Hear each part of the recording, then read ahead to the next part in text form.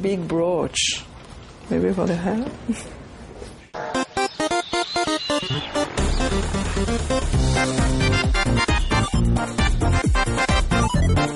I'm in New York and I'm presenting my new collection of uh, fine jewelry.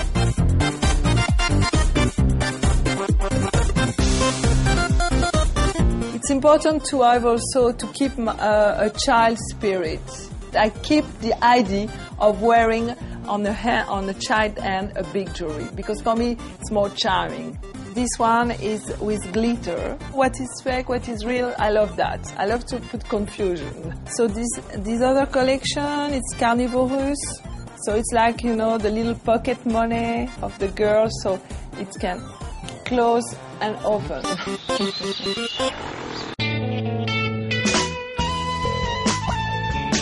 I'm very excited to go to this store because I've heard a lot of my friends went to these stores and I'm going to discover the treasure. So, uh, well, I'm so happy.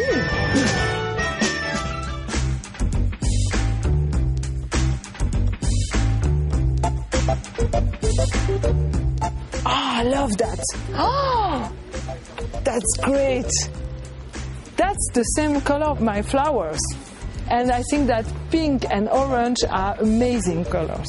Really for me 80s, you know, the, all the bustier. I was wearing this in the 80s. What inspired me, it's all the colors, all the little fruits, very naive things, all the little mushrooms, I love that. And also all, the, all, the, all those colors. It's for me important to find them uh, in real jewelry, to make them real in jewelry. Wow. a big necklace.